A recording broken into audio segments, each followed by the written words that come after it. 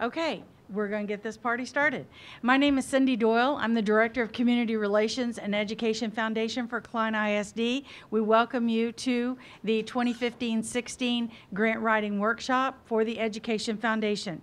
Today, you're going to learn the nuts and bolts about uh, what the foundation expects uh, from their grant applications, and it will be followed up in how to write a grant uh, by Ms. Lynn Dozier. So to give you a little bit of information about the foundation, it was um, started to basically benefit the staff and students uh, of Klein ISD. We're to generate funds and put those back into the classrooms of the district. It was established in 2000 under the direction of then Superintendent Donald Collins.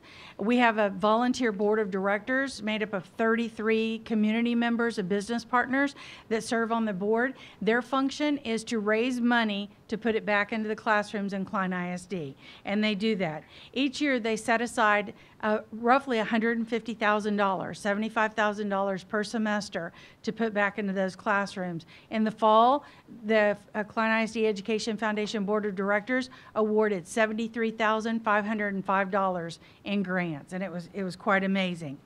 Uh, since 2001, when the, when the funding started, um, they have given away uh, 1 million. Three hundred six one million three hundred sixty-seven thousand three hundred forty-seven dollars, and that was in three hundred and seventeen grants.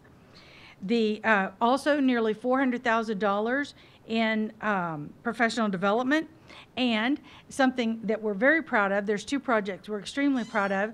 In 2010, they awarded uh, over $30,000 to uh, retrofit the Reading Express bus. And since then, another $5,000 has been donated to uh, rewrap it and to put a new awning on it. So we're very proud of that. Our latest project is the Steam Express.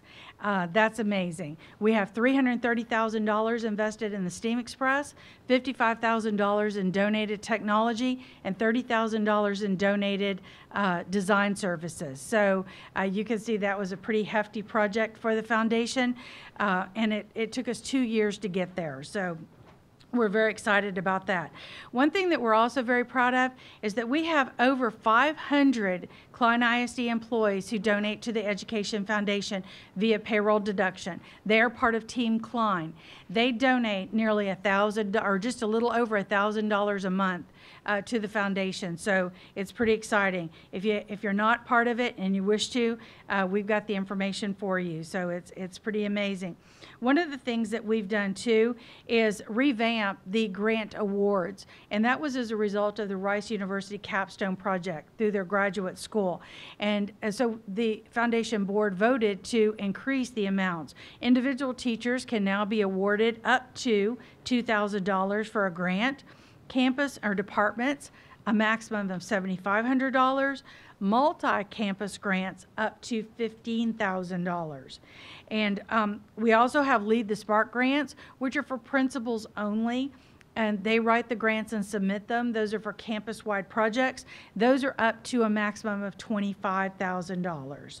Um, all of this information is on our Klein ISD uh, Education Foundation website at kleinisd.net slash KEF.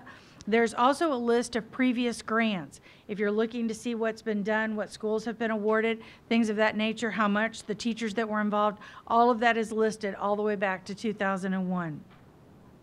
One of the things that we want to do uh, as an education foundation is to provide seed money for innov- innovative projects. And what that means is we want to give you at your campus an opportunity or your department or your facility to try something new that's never been done before in Klein. It doesn't have to be new to the world, it just has to be new to Klein ISD.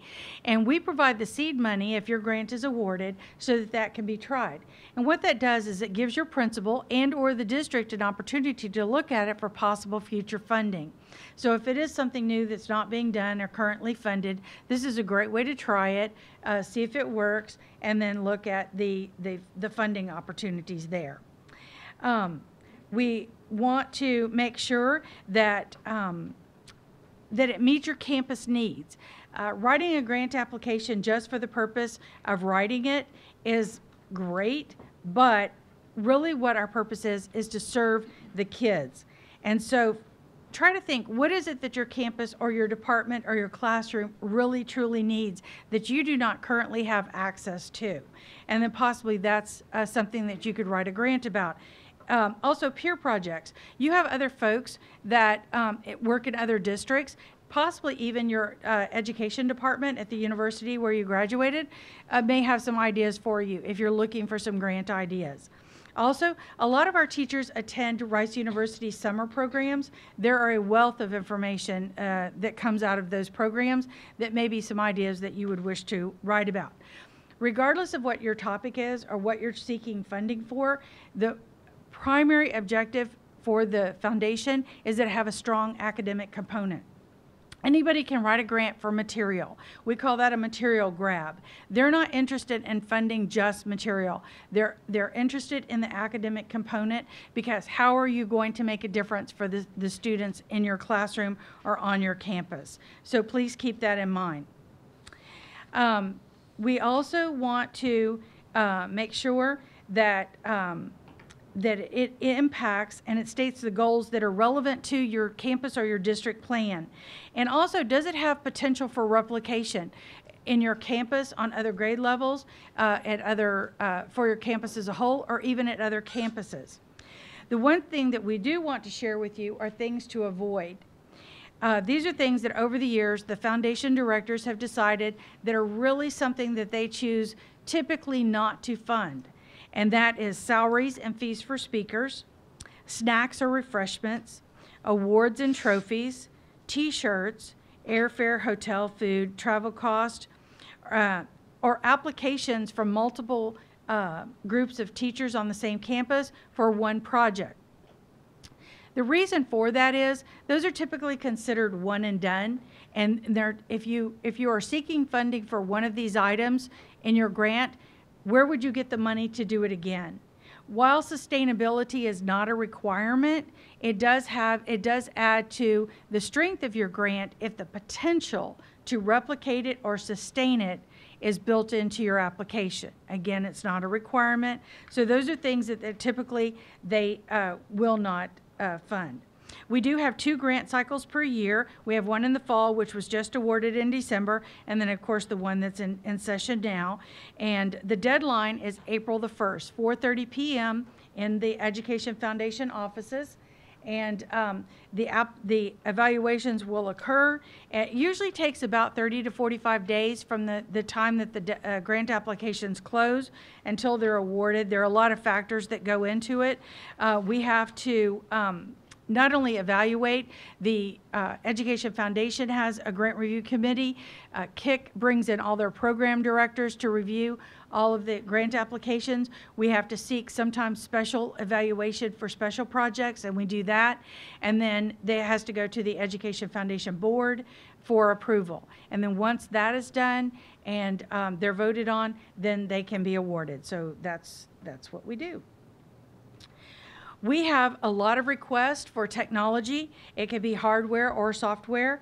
Uh, all technology purchases uh, must go through the hardware approval process. Now you're saying, I'm writing a grant, I don't have the authority to purchase it, but what you need to do is make sure that technology approves it in the event that your grant is awarded. So what you do is you send a, a recommendation to uh, technology saying we would like to see if this hardware and or software is available for purchase should we be awarded?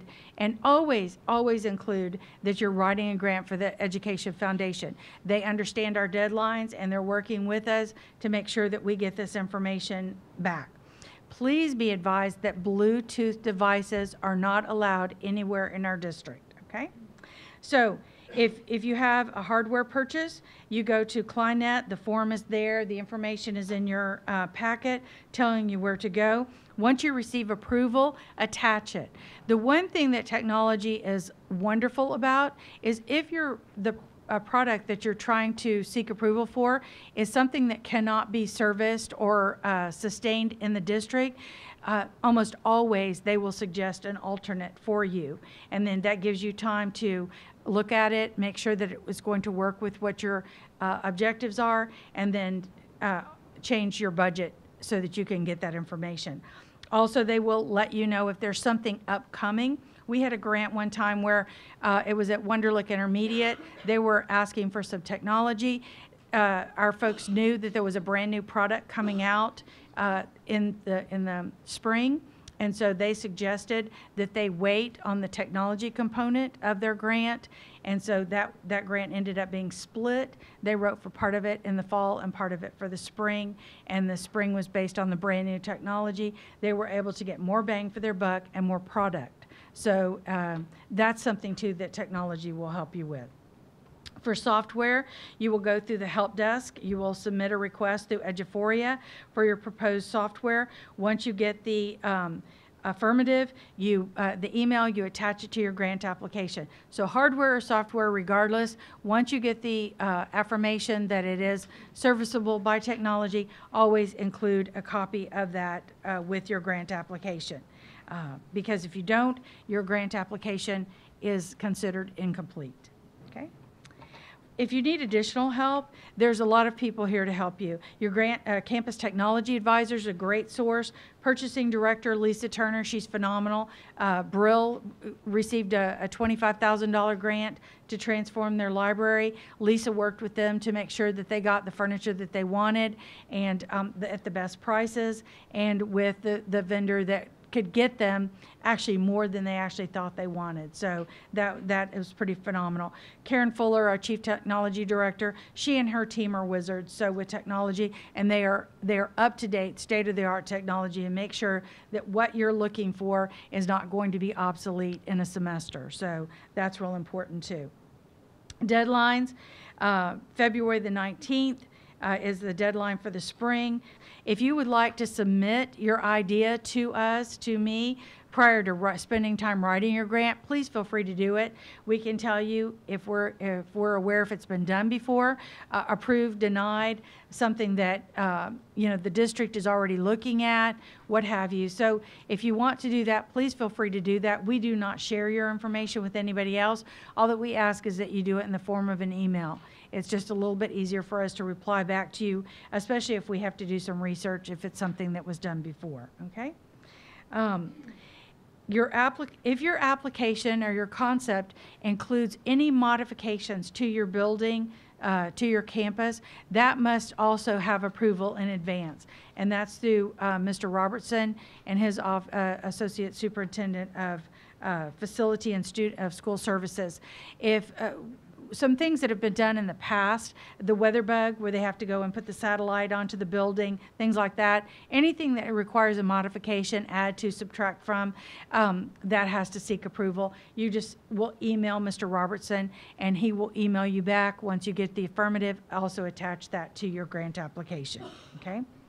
Um, so we want to make sure, oh, also, and it doesn't necessarily just have to be to your building.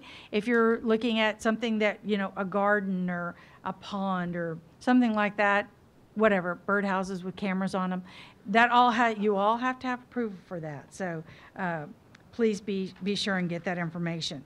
Also, if you're doing something that um, you think that there may be a potential um, concern to any of your students, uh, please seek the necessary approval. I will give you two examples. Uh, Doerre was approved for a grant. It was called Edible Cars, and it was the old soapbox derby kind of thing, but the cars were made out of food. And so, of course, Lori Combs and her team worked with Doerre to make sure that all of the food was uh, appropriate, that the releases that were sent home to all of the parents explained quite completely that there would be food so that the parents could notify the school if there were any food allergies and those students could be uh, handled appropriately, still able to participate, but things that would not uh, harm them in any way. Uh, also, if uh, it, uh, Grace England, the pre-K center, they were doing some um, uh, they received a grant that involved bicycles, some painting of some stuff on parking lots and things of that nature. So Bruce Berry and his team went out and looked at it from a safety perspective. Uh, was this part of the parking lot that they were looking at safe? No through traffic? Uh, what you know, accessibility, visibility, things of that nature. He uh, submitted an affirmation and they were able to attach that to the grant. So those types of things are very important because first and foremost, first and foremost, we want to ensure the safety of our students and our staff. And we want to make sure that whatever is awarded has the capability of, of following through to completion. And so that involves protecting our kids. Okay? All righty. The next thing we want to look at is the grant application itself. You've got a copy of it in your uh, folder. We want to be, we want to know what type of grant. Is it a classroom grant? Is it a, a department grant, a campus grant, a multi-campus grant? Uh, again, Lead the Spark is only for principals. We do know that principals generally will have a team putting that together, but as far as the Education Foundation is concerned, Lead the Sparks are awarded to the principal, okay? So just keep that in mind.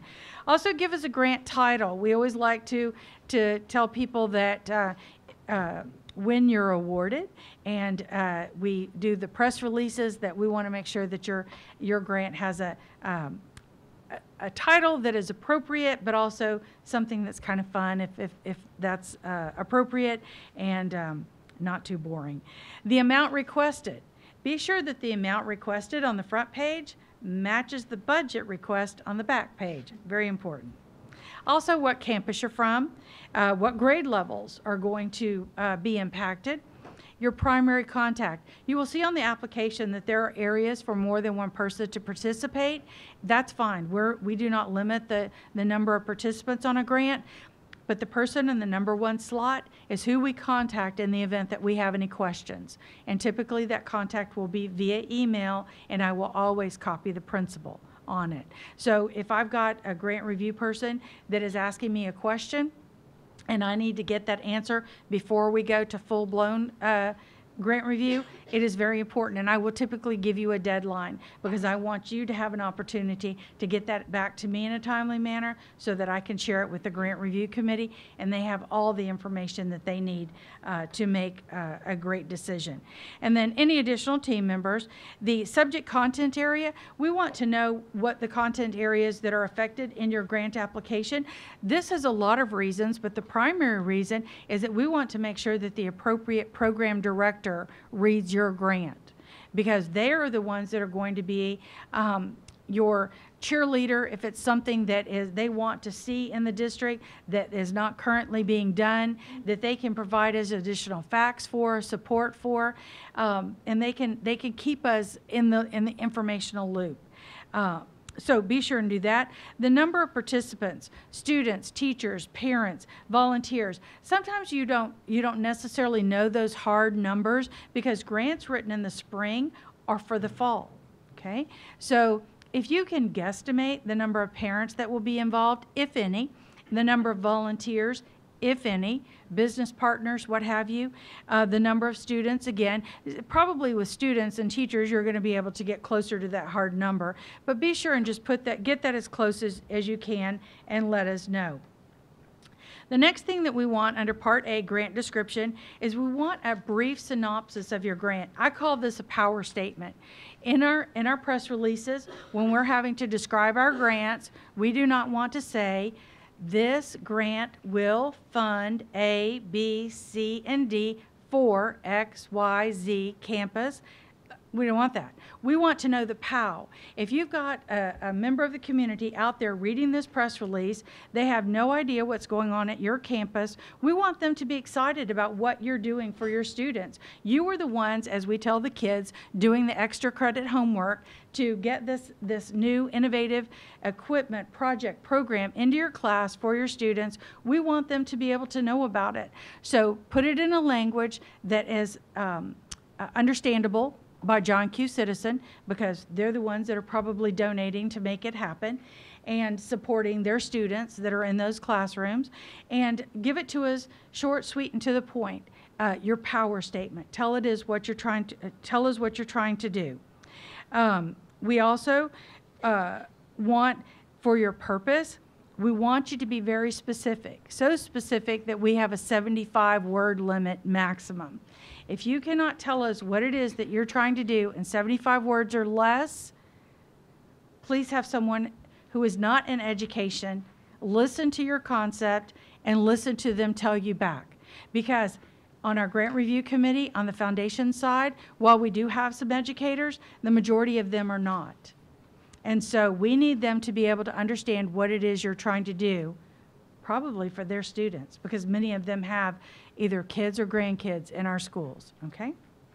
So, what are your, what is your purpose? What is the instructional purpose, the goals, and the needs? Be very specific. In this case, more is less. Uh, part C, your enrichment and support, 75 word maximum. How does it tie to your campus improvement plan? How is it innovative to what you're doing on your campus?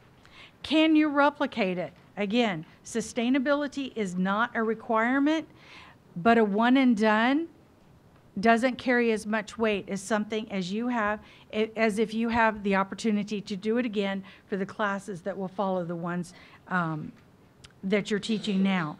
What resources are needed? Tell us so that we know what it is that you're going to, to need to make this project a reality and, and make it work for your kids. Curriculum activities, 150 word maximum. What student goals are you going to address? How will the student learning goals be implemented, assessed, and measured? This is not the evaluation part. This is how you're going to measure it during the course of the implementation. Student activities and procedures. What will the student learn? The reason that this is important is because you're going to outline what it is that you want your students to do as part of this project. On the inside of it, you're going to evaluate it. Did it work? Is it something you would like to see done again? Did it not work? If not, why? Because that way you're going to help somebody else that may come behind you. So those are the types of things that we need. Lastly, on this part is the evaluation, 150 word maximum. The evaluation is probably the most important part after your purpose, but it's also usually the weakest in the grant applications. It is very important for the Education Foundation to know how it is that you intend to evaluate what you've done in very realistic goals. Do not say that 100% of your students are going to pass every test known to mankind because that's not realistic. If you anticipate having a 10% increase or a 5% increase, that is that's an increase. That's positive. If you uh, intend to have more par- parental involvement, that's a positive. That's an increase. Just be realistic. If you can put numbers to it or percentages to your guesstimate, that's great. If you can't, just tell us what your goal is. Very important, very important part of um, this application. Then we also want to know about your collaboration. While collaboration is not a requirement, we do like to know if you are going to have other people involved because it expands the scope of your grant. And 75 words or less, just let us know if there will be other folks involved. Other schools, teachers, PTOs, community members, what have you. Uh, if you're going to have outside funding or support, is it, is it sustainable? I'll give you an example. I'm really stuck on Wunderlich Intermediate tonight. But Wunderlich Intermediate was awarded a grant for Discovery Dome. It's a, an inflatable planetarium. And in and of itself, it's a great idea. But in their grant application, they built in that they were going to allow their uh, feeder schools to also participate in, with it. And so they, they're, that's something that they're working on and making sure that it actually happens. And so that increased the scope. So you give, you give a $25,000 uh, grant to a school, and it may impact 16, 1800 kids at the intermediate level, and then you add all the elementary schools that feed into it, that's eight or 900 students per school that you increase the visibility of that one project. And there's life to that project. This isn't a one and done project because it can be shared, it is portable, and um, it just, it works. So those types of things are, are very important is that you, that you be able to tell us, um, if it's going to go beyond your classroom. If it's not, that's okay. But if it is, don't leave it out. Okay? Also, remember that your principal must review and sign each grant application.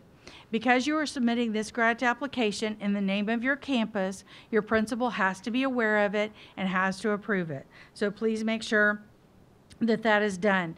When you bring your grant application to us, unless you send it by interoffice mail, the one thing we will do is we will check your budget to make sure that it's complete, and we will make sure that your principal signed it, as well as all of the, um, the folks that are uh, on the grant application. So, um, your grant must be finalized and awarded to us, or upon, uh, submitted to us, I apologize, submitted to us uh, by April, and then uh, awarded, typically it will be in May.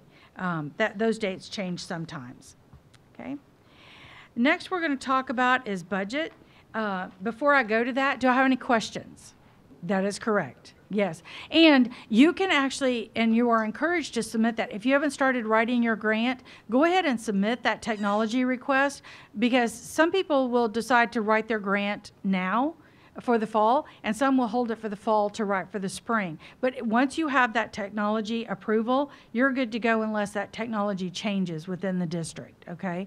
But, uh, so I would go ahead and submit that. That just gives them time to check and also check to see if, um, if any new technology is coming out.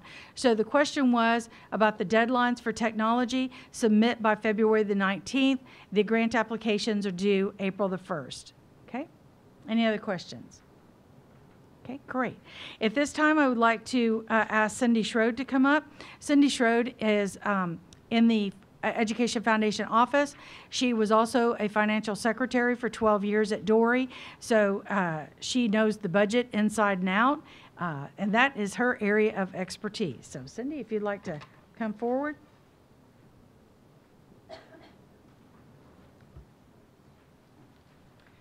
Hi.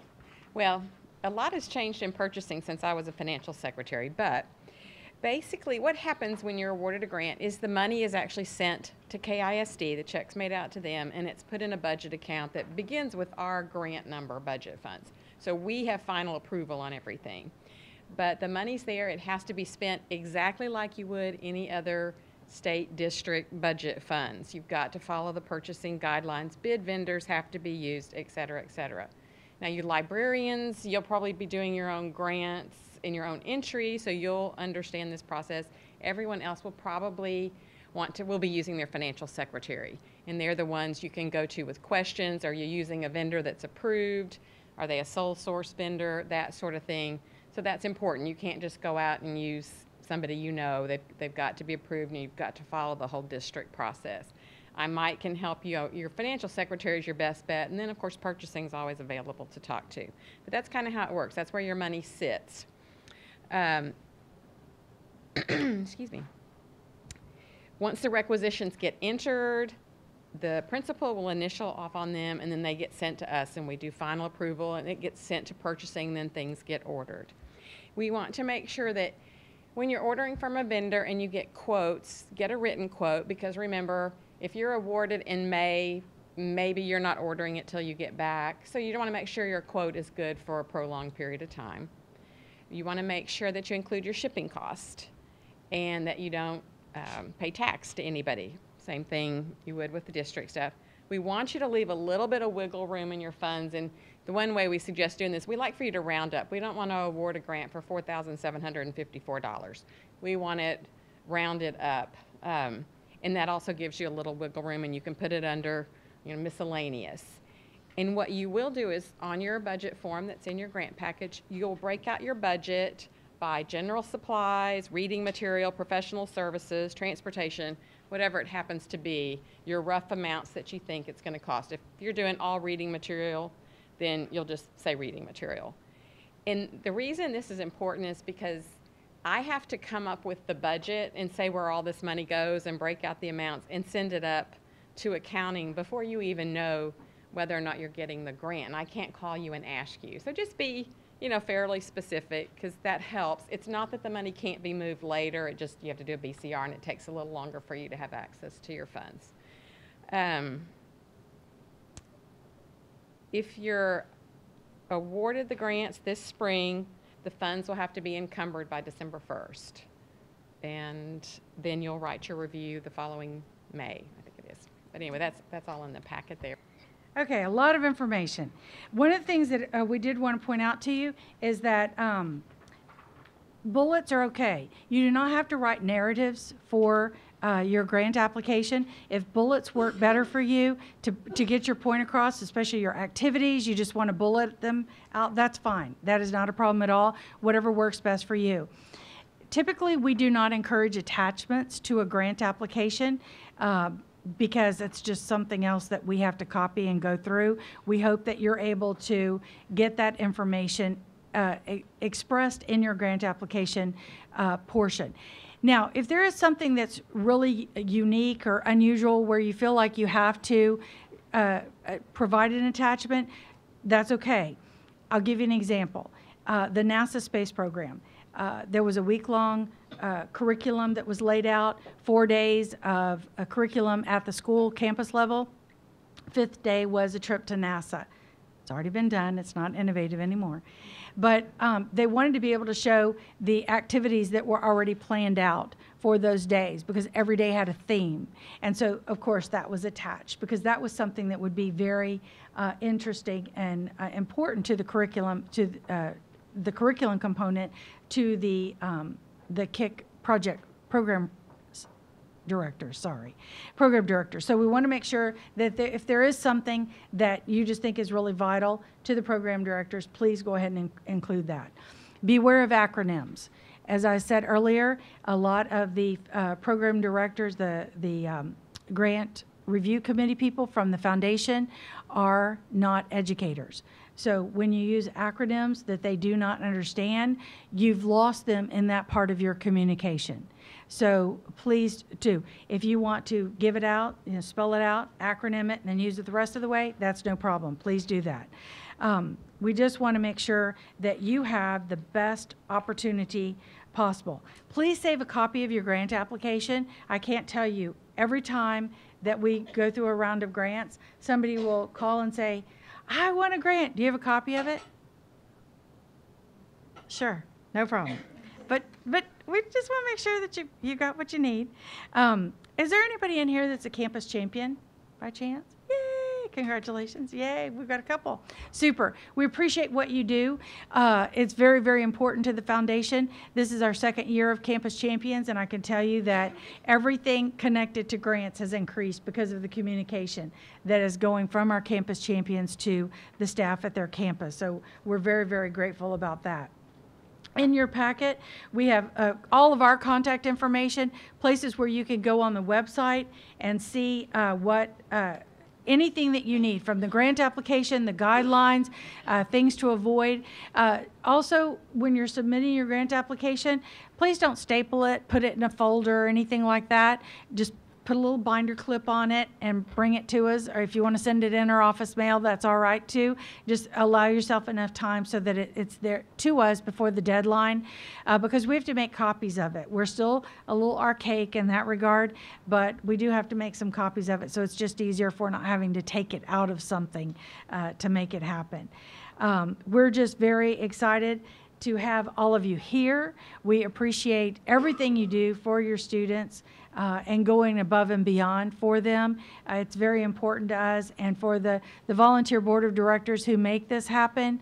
Uh, it's very important to them because they're going out and raising about $250,000 a year to have 150,000 of it go into grants. We have other projects that are funded also, but uh, to set aside $150,000 for grants every year. They don't just raise it every couple of years, it's every year. So it's very important for them to see what you're, what each of you are doing uh, to go above and beyond for your kids. So for that, we're extremely, extremely grateful.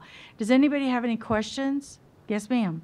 What the question was is for an application directed uh, for special needs students, would the research be, uh, would it be necessary to attach the research to support it?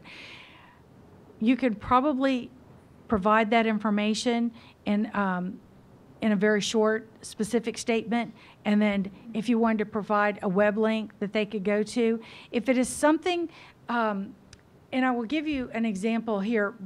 For Brill's library transformation, which was for their whole campus, they had some furniture that we had never heard of before at the foundation level. And so they provided some pictures of that so that we knew what the product was. They were very clear in what they were going to do with it, but in order for us to fully understand the product, they did attach a, a couple of documents for that. Um, and as a result, we ended up going to a vendor fair and looking at all the furniture so we could become more acclimated to it.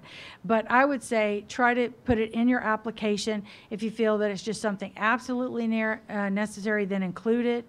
Um, but just try to get as much as you can inside the grant application itself. Okay? We will, at the end of, of uh, the next presentation, be available for questions and everything. So if you think of anything, just keep it. If you want to ask any questions while, uh, during the next program, please feel free to do this because we want to make sure that you get the information that you need. One of the questions that we had uh, during the break was about the submission for uh, technology approval you just have to submit your uh, request about technology by February the 19th. So you can send your email or your request form by February the 19th. Once you get that answer back and you write your grant application, you just attach that to it. The grant application is due to us by April the 1st. So I just wanted to clarify that note. If you have any other questions, don't hesitate to ask. Go ahead.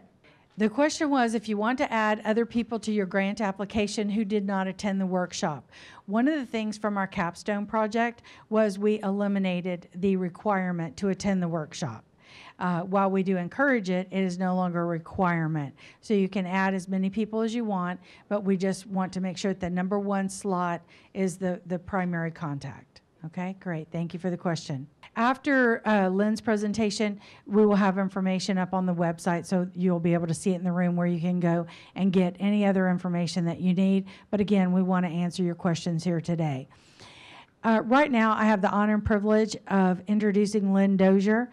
She is uh, a former educator in Klein ISD. She spent nearly 30 years at Klein Forest and has uh, brought uh, several of her former students uh, eh, to be involved with the foundation, whether on our board or helping us in fundraising or other activities. So she's extremely committed, not only to Klein Forest, but uh, to Klein District as a whole. I do have to say, that uh, Lynn uh, was the lead of the grant writing team at Klein Forest, and to date, Klein Forest High School has won more grants from the Education Foundation than any other campus in this district, and they're at over $100,000 in grants. So, yeah. And I will tell you that the, the thing that was important about that is that at the time, there were principals that really um, understood the need and the importance to their campus, and they took that need and developed a team that could seek out the resources that could help them with the funding they needed. And the Education Foundation was just one, but uh, they were very good at it. So uh, we've asked Lynn to come and help us. She now sits on the uh, foundation board. Uh, she's retired from the district. She's just working for the district with no pay now. So we, we really appreciate that. Um, but at this time, please uh, help me welcome Lynn Dozier, who will talk about uh, writing a great grant application. Thank you, Cindy, and thank you all for coming. It's good to see some old friends and meet some new friends. Um, uh, records are made to be broken. Okay, so we're looking to see which school is going to be the one to break the Klein Forest record. Uh, let me just say that um, I came, retired 2011. This is my fifth year of retirement. Um, and the first time that I rode the Celebration Express as a member of the board of directors, I cried the entire trip. I mean, I just, I, the emotion of being in the schools and seeing the children and the teachers and their excitement was just more than I could handle. Um, and I told people afterwards, they said, well, so what do you think about it? I said, well, you know what? I've left the forest, so now I can see the trees and I think that's pretty cool. So I have three purposes here to help you all today. One is to help you, give you some ideas about how to develop projects and how to assess those projects, uh, how to write each one of the sections with some samples and some models that we can use, and then finally some tips on revising and editing. And please, anytime that you know you've got a question, let me know. Uh, I'm, I'm good to, to break up and, and answer respond to your questions. First of all, let's talk about the, the audience for the people, or the people who are going to be reading your grants. The curriculum team that from, from KIC, they understand the best practices in the curriculum areas. So they know what works and what's good research-based uh, ideas. The people from the foundation, and I think our team is about six people now, who will also be reading the grants, they want to see how the money they will be awarding will impact children. They want to be able to have a picture in their heads of what's uh, going to happen with the kids when they get the money.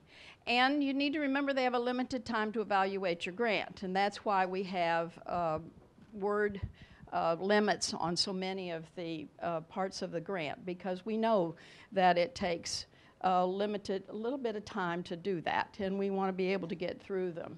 All right, let's talk about, first of all, about balancing instruction, curriculum, and evaluation. Uh, I, this actually comes from a staff development that I did in Klein ISD several years ago before I retired. First of all, the object, objectives. What are the kids going to learn?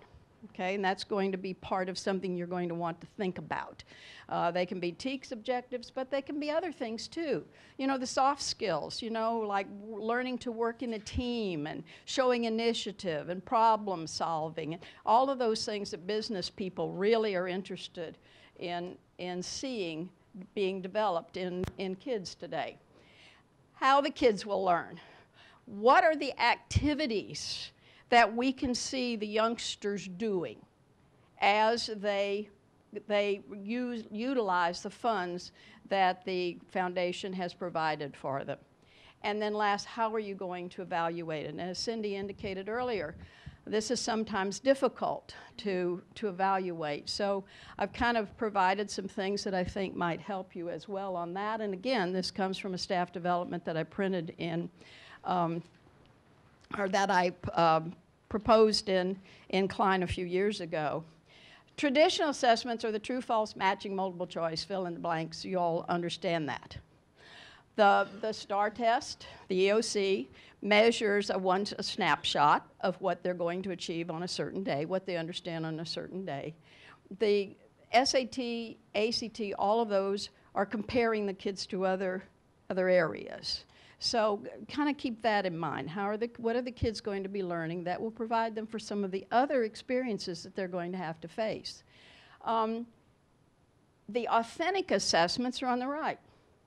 Look at all of the things that you can do to assess whether a child is learning besides just give them a test. Um, you can observe. And let me say that I think that's one of the key things is to observe. When I was teaching, I used to have a, like a coach I had um, my class rolls on a clipboard. And I would walk around, and if I told the kids I wanted to see a full page of writing on something, I would walk around and I would take that clipboard and put a little check mark by it. Observation, seeing what the kids are doing. That's an important part of your ro- role as a professional, I think. Um, essays, oral presentations, summaries, reports, journals, short answers, all of those things. Keeping their learning in a portfolio um, Fran Ditta, the assistant super, assistant superintendent, assistant principal. I gave her a promotion, didn't I? She was so good in Austin. I just gave her a promotion. Uh, Fran Ditta is a principal, assistant principal at Klein Oak, and she and I presented some information this past weekend on portfolios that they're using at Klein Oak High School, a result of a grant that we've had. So keep keep in mind all of those things. So does that kind of help you all to see? This gives, this gives the opportunity for the foundation directors to see, okay, this child is going to be able to keep a journal, and we'll be able to see that journal if we walk into that classroom. Okay?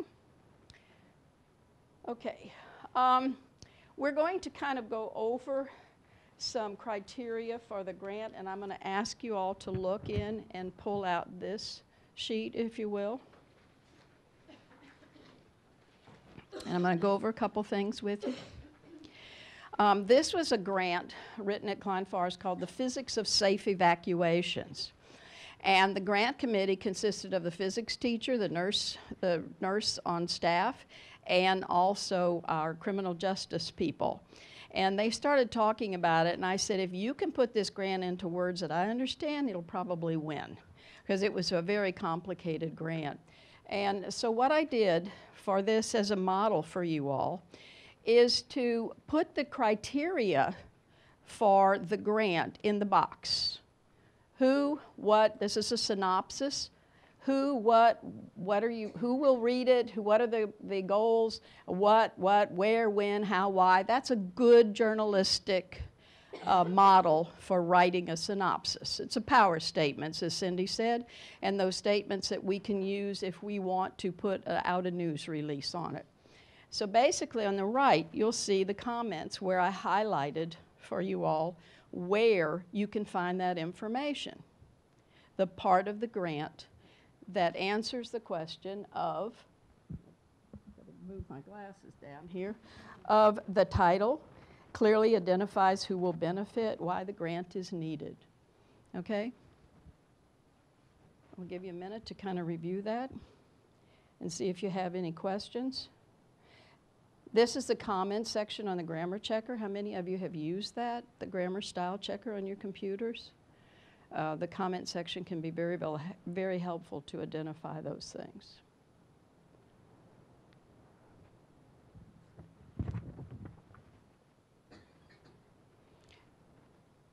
Okay, now in order to kind of save time and, and uh, do justice to the time you have, I'm going to call your attention down to the reading level and the word count that was provided by the grammar checker. This uh, synopsis has 156 words. The technical um, requirement was 150. They went six over. We don't sit and count your words, but we know, you know, we can tell if it's going to be really, really close to that. And a little bit later, I'll show you how to edit some of those words to get them out to make it a little bit shorter. I also want you to notice the reading level, 14.1.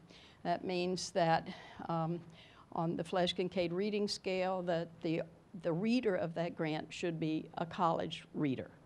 And I'm pointing that out to you. 14.1 would be what, sophomore college?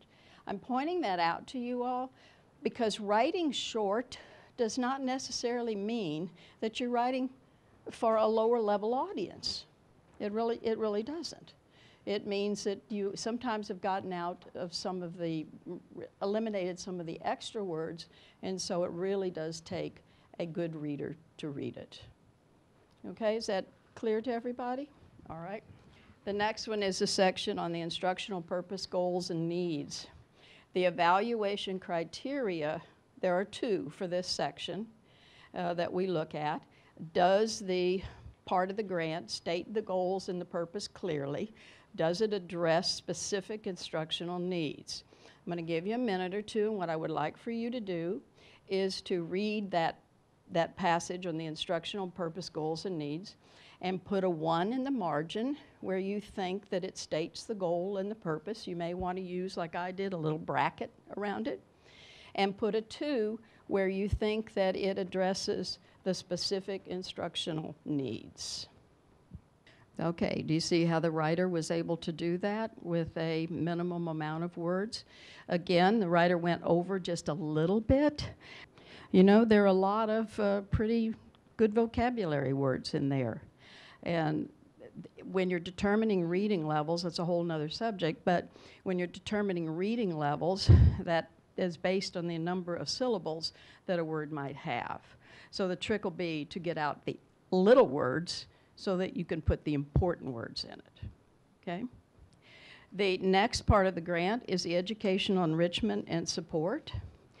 The evaluation criteria that we use are that it improves the student learning, is broadly applicable, applicable and replicable, replicable, you did that much better than I did, Cindy, utilizes the materials in new and creative or different ways, benefits a large number of students or a special population that needs extra support. So I'll give you a minute or two, and again, in the margin or underline, see if you can identify where the writers of this grant met those criteria. You can use a one, a two, and a three. You can underline whatever's convenient for you. Is that helpful, everybody?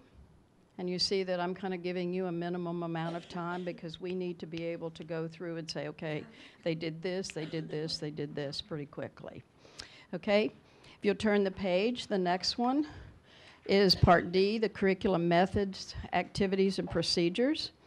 The evaluation criteria that the grant review committee will be using is that it, in, it includes specific student activities, it connects the activities to the district goals and objectives, and engages students.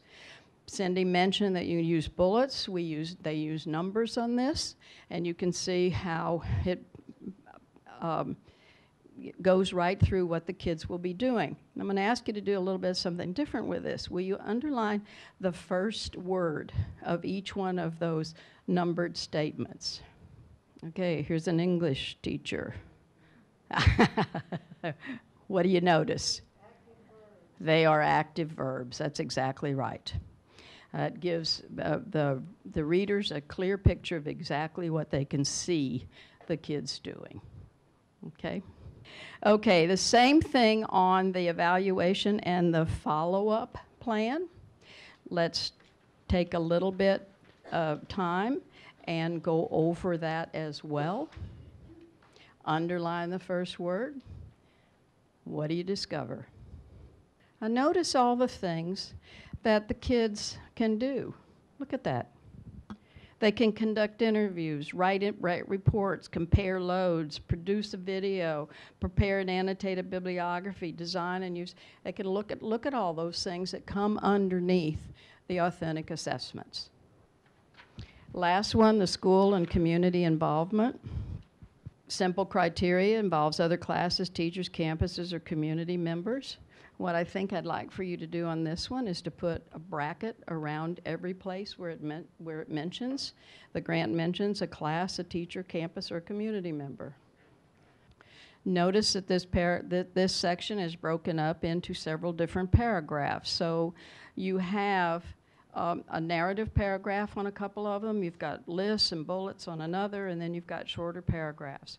Let me say that what we found at Forest really worked is that when you get a team of people, um, I never really wrote any of the grants. I would kind of help with some of the editing. My job was to be a campus champion before we had campus champions, to bring people together. And one of the things that that I saw that happened over there is that each person on the team wrote a section and then one person edited it. So you've got a clear person that's working with the language, and it sounds like it's written by one, one person. I also suggest that you write it all in one font. You know, occasionally, I know you, occasionally we get a grant and there's two or three fonts and it looks real funky, but you know what? It's really hard to read. You know, watch your use of capital letters, punctuation, those things all count.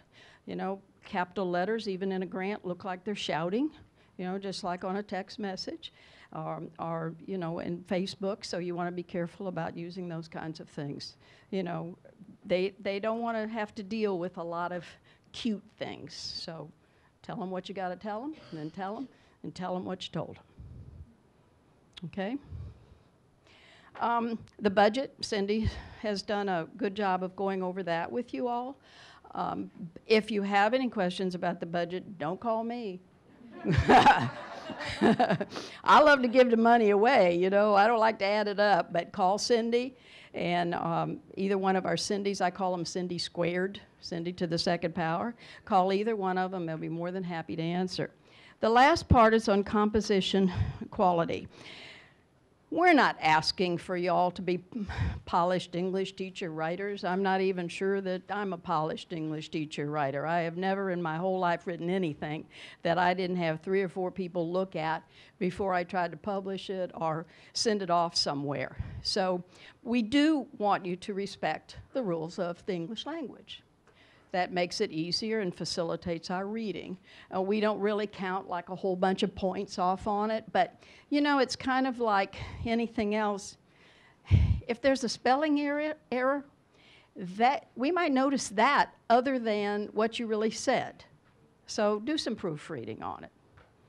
Okay? Anybody have any questions so far? Let me just say that I think the models that we've, that we've provided for you also work with your kids. You know, if you want them to do something, show them what the criteria is before they start to work on it. How are you going to evaluate it? Show them an example of what you want them to write or produce. That always helps them as well. Questions, anybody? Oh, I'm going to get out of here quick tonight. All right. Now, the last part that I have for you all is uh, some pages to help you edit and revise, to get rid of those unimportant words so that you can get to the meat of it.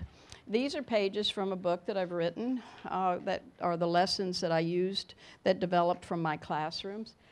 The first one is Why Should I Edit Passive Voice or Passive Be Verbs?